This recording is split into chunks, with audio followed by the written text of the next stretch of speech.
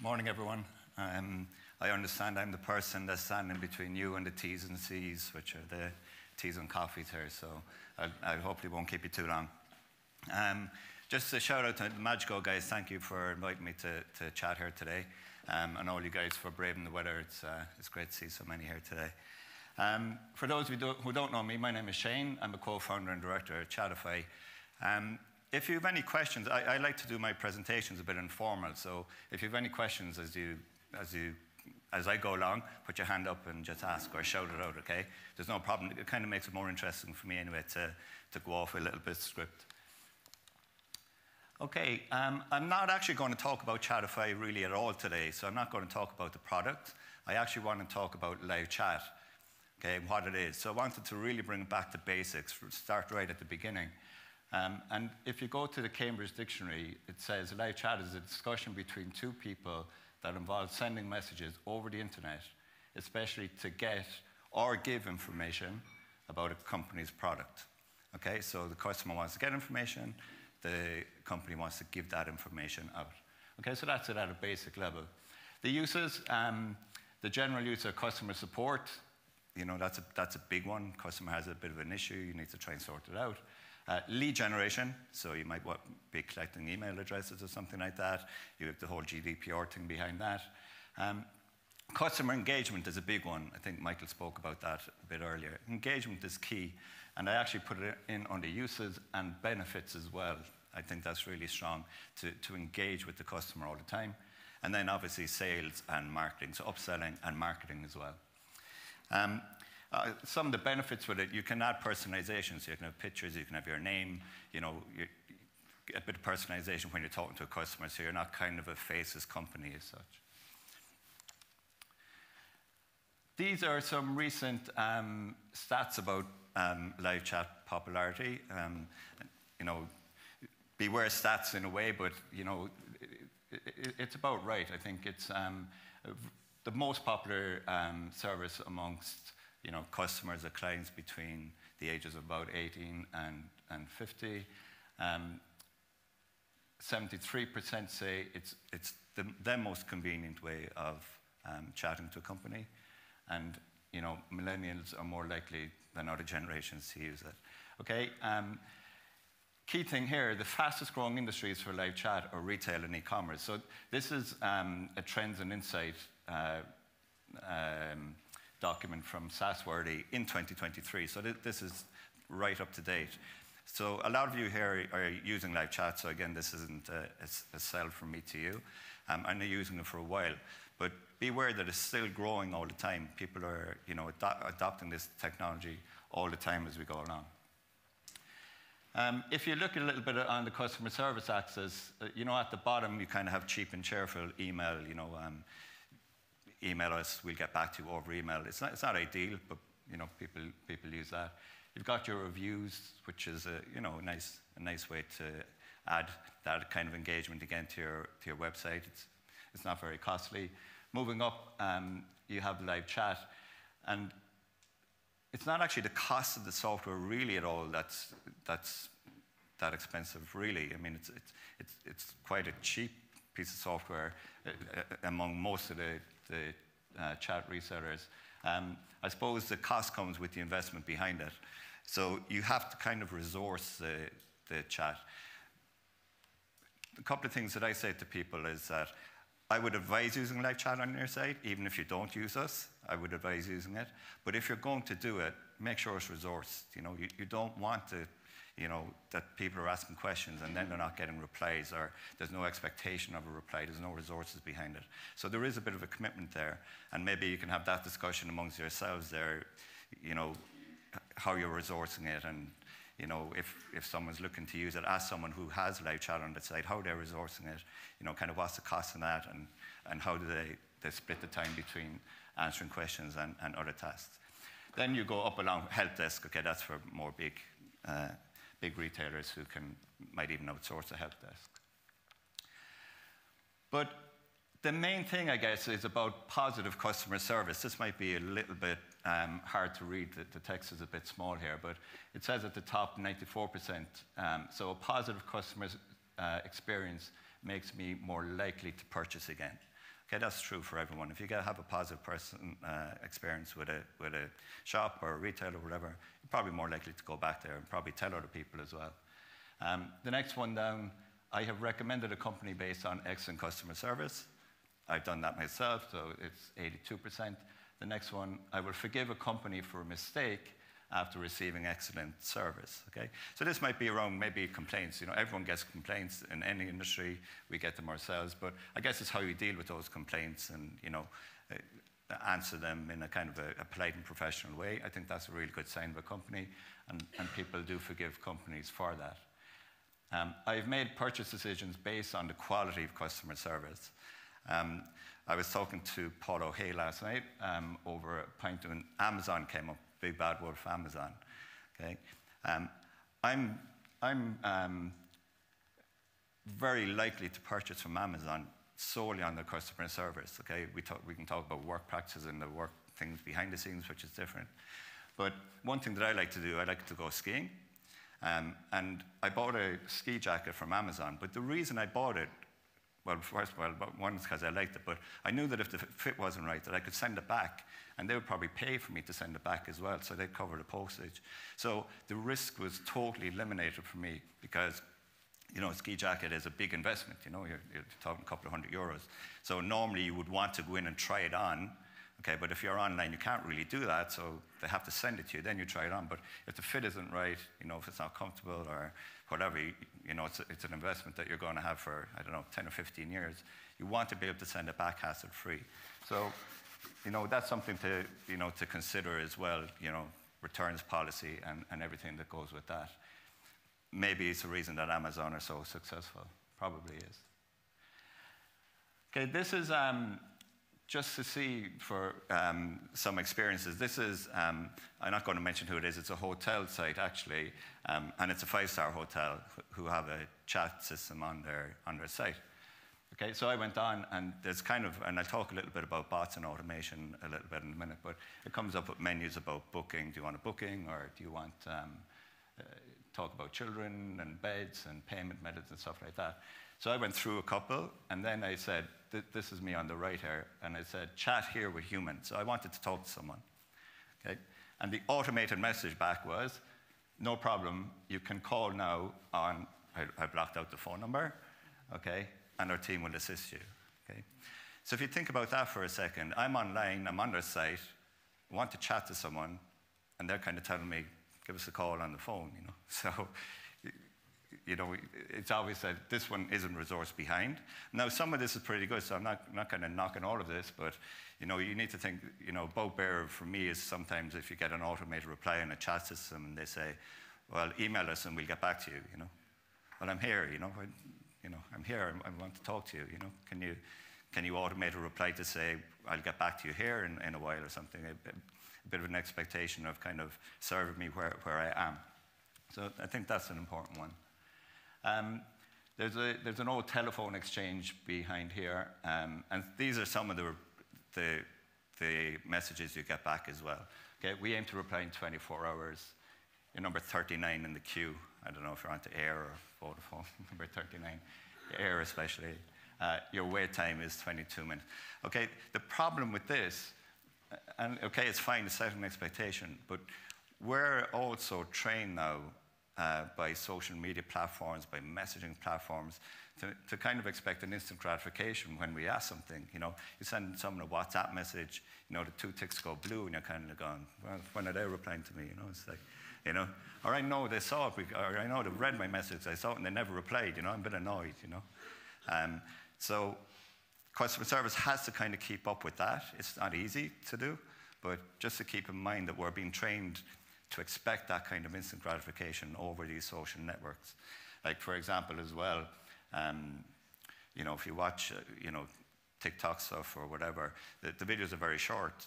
So now when if you're watching a video, if it goes over kind of two minutes, you're kind of going, geez, I want to be really interested to watch this. So that kind of feeds back into marketing and how marketing happens as well.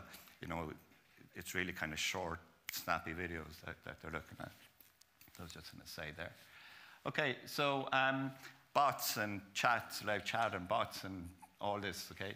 So I kind of compare a little bit to phoning a bank, Okay, I hate phoning banks now because you always get menus, right? Press one for this, press two for that, press three for that. Then you press the, the number, it goes into another menu. Press one for this, press two for that, press three for that. And a lot of the time, if you're phoning a bank, you just want to talk to someone again. You know, you're probably not ringing them to get your balance, but they're saying, okay, for your balance, press one. Probably not ringing about that, you know? Um, so just be aware of that if, if you're going down the, the, the, bot route. Our take on it is we have um, a set of FAQs that you can populate yourself, give your own answers. Um, you can set them out of office hours. So that means that um, if you don't have someone manning it and someone asks a, a, question that you have an automated answer for, so it might be around delivery, we'll, we'll feed that answer back. Um, we ask them, does it help? Okay, if it doesn't, and they ask a next question, we don't try to automate the response then because they say it hasn't helped already, you're kind of out of that automation loop, and we try to get a, a, a, human involved. Now, that, that, that could be another automated response if it's out of office to say, look, there's no one here right now, but we will get back to you tomorrow or first thing, or whatever, whatever that may be. And it's just about setting that um, uh, expectation. Okay, I suppose I couldn't uh, do the presentation without mentioning ChatGPT. Um, it's okay if you, if you put your hand up for this, but is there anyone here who hasn't heard? It's, it's relatively new, so it's fine. Who hasn't heard of ChatGPT? Oh, cool. Oh, you haven't? Okay, that's okay. Is there anyone here who hasn't tried ChatGPT? Okay, lots of people haven't tried it. Okay, that's cool. I haven't really tried it myself until fairly recently in the last couple of months. But just to explain what it is, it's an AI platform. Um, OpenAI is the company behind it. Elon Musk used to sit on the board. He's not on it anymore. But Microsoft are a massive investor. In about 2019, they invested $1 billion into it. And just in January, it's reported that they invested another 10 billion into it. Um, and the idea is that you can, you can ask it anything really. It's an automated response platform. But the idea is that it's, it's trying to, I, I suppose, at the very heart of it, it's trying to avoid fake news. You can put in questions and it will kind of scour in the internet, come back and tell you kind of what the, you know, what the deal is, I suppose, if you want to put it that way. Um, but I just, I use it and I just um, went on and I said, okay, explain what Chat GPT is for retail customers. And it comes back with this, like this response came back in about three seconds. Okay, so just reading, if you can't read at the back, uh, the middle paragraph, Chat GPT can assist customers with a wide, wide range of tasks, uh, such as helping them find specific products, providing information about products, features and prices, and personalized recommendations. Okay? Um, so I was thinking about this, and that, that's fine. And I said, hang on, I'm doing a presentation. So why don't I say, write a presentation for a retail audience? Okay? So this is, um, it says, okay, it starts, good day, everyone. So now it's in presentation mode. I'm here to pre present you the main benefits of ChatGPT. I'm not going to go read it all, okay? And oh, by the way, I, I, put in it should be 500 words or less as well on, the, on my uh, requirement. Okay? It came back with customer service improvement, increased efficiency, personalization, which I use at the start as well, uh, improved sales, and scalability, right? And it came back as well, uh, in conclusion, okay, so it's kind of speaking, in conclusion, ChatGPT can provide uh, significant benefits to retailers, et cetera, et cetera. And at the end, thank you for your time. Okay? This response was generated in about 15 seconds. Okay? You can see type in response. It did it in about 15 seconds. And it, I put it uh, into Word to do the word count just to make sure. And it contains 396 words, so it's less than 500 words. Okay? Um, this little baby here allowed me to take the time off yesterday to go playing golf with uh, Paul, so it was great. Okay? Well, look, these are the kind of things that, you know, it, it can help, you know, it can really help you as well if you, you know, in, in your work things. So um, try it. If you go to openai.com, you just have to, um, you just have to sign up with a Google account or something like that. Just try ChatGPT. Um, it was quite funny because it was my wife's birthday recently, and I put into ChatGPT, write a love poem for my wife's birthday, right? and um, it did, it did. And I showed it to her, and uh, she was very impressed. Not with me no, with the system. so if your, um, if your partners have suddenly become great poets, you know, maybe check out ChatGPT to see what's happening. Okay, yeah.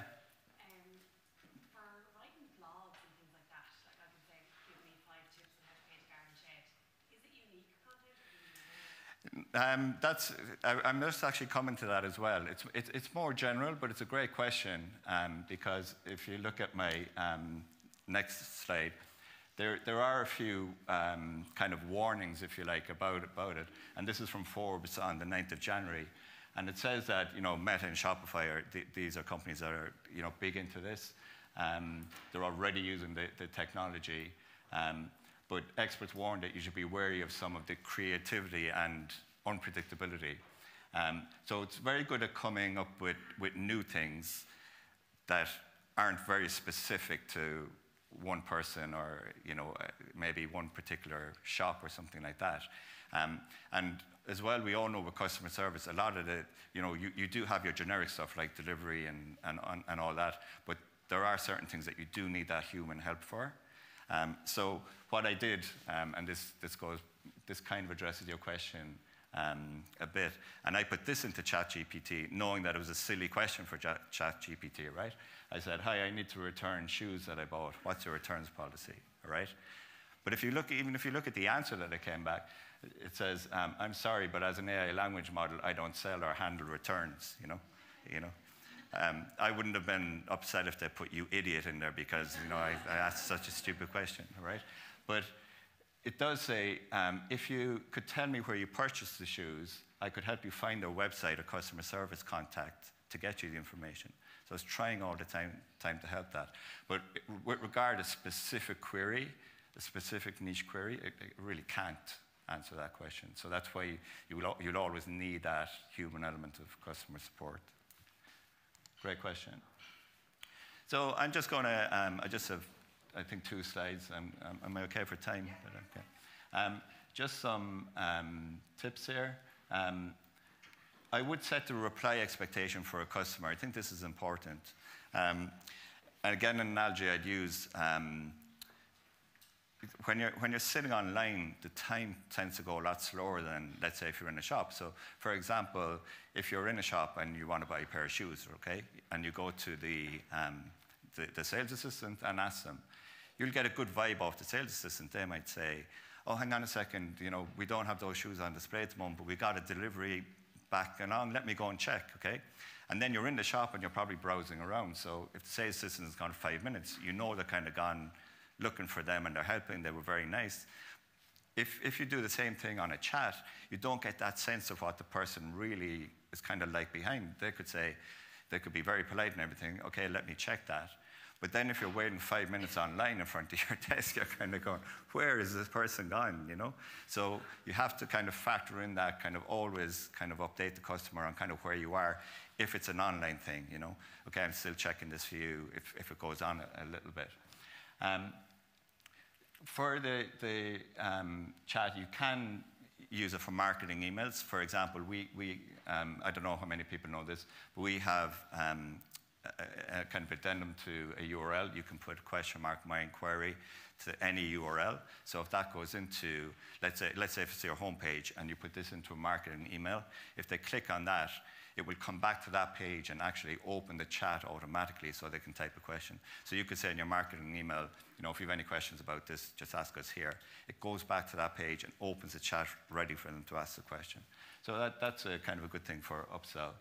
Um, I put in here a bit tongue in cheek, uh, mind your language, okay? And I don't mean that you be effing and blinding on the, on the thing. You might do it in your head, but, you know, I, I don't mean that. But it's about just kind of even being overly polite on chat because, again, you know, if I'm, if I'm chatting here, like you, you can kind of see my reactions, you know, or if I'm trying to help someone, I might, you know, I might say, I'll help you, you know, and I'm, if, if you're in person, you don't get that really with chat, so it's a bit of a downfall for that. But if you are kind of polite, you know, like let's say the customer thanks you or whatever, you know, don't just say that. Go back with your, you're welcome, and if you have their name, you know, um, you're welcome, Paul, or, or whatever it, it, might be. You know, try to use that personalization. So just just be aware that, you know, I'm sure we all did. I know that I've typed something in an email that someone has picked up a little bit wrong. You know, so the, the words mean a lot. You might you might have meant to say something, they picked it up a different way, and they say, "What did you mean by that?" etc. And it can, it can, lead to it, can lead to other things. So. Um, that's just one, one, one tip here. Um, okay, the, these are the benefits. I'm not going to go through. You, you probably know all these already, but you know, engagement and conversions are the big one. If you engage with the customer, they're probably more likely to convert. If it's a good experience for them, they're probably more likely to come back. That's kind of it in a nutshell, really.